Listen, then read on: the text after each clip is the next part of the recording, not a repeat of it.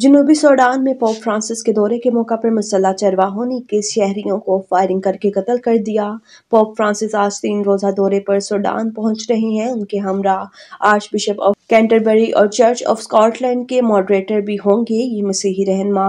खाना जंगी खत्म होने के बाद मुसल्ला झड़पों के खात्मे के लिए मुफाहमत और भाईचारे को फरोग देने के लिए सोडान का दौरा कर रही हैं। गुजशत रोज मुसल्ला चरवाहों ने मुखालिफ ग्रुप के मवेशी कैंप पर हमला करके इक्कीस अफराद को कत्ल किया।